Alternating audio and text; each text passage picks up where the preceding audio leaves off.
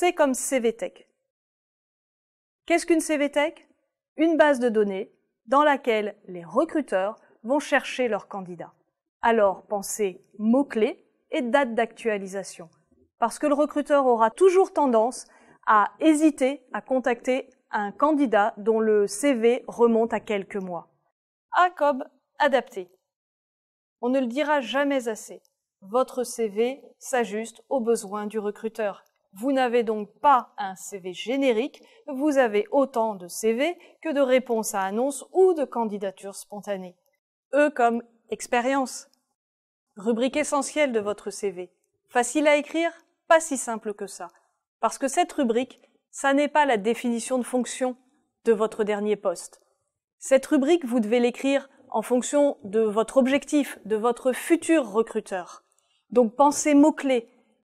F comme formation. Et oui, avoir le bon diplôme aujourd'hui ne suffit plus. Nos carrières sont longues, le besoin d'ajustement des compétences s'accélère, et nos envies aussi. Mais votre parcours de formation, c'est à vous de le prendre en main. Et c'est pour ça que le CPF a été créé en 2015, et la nouvelle loi pour la liberté de choisir son avenir professionnel veut le rendre plus simple et accélérer son utilisation. D diplôme. Souvenez-vous que votre CV est un espace contraint. Alors oubliez votre bac, M1 plus M2, ne retenez que le Master 2, et puis je voudrais faire un focus pour les autodidactes.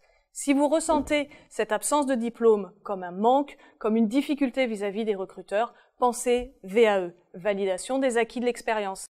B comme baliverne. Et oui, votre CV décrit votre parcours, affiche vos résultats et vos réalisations.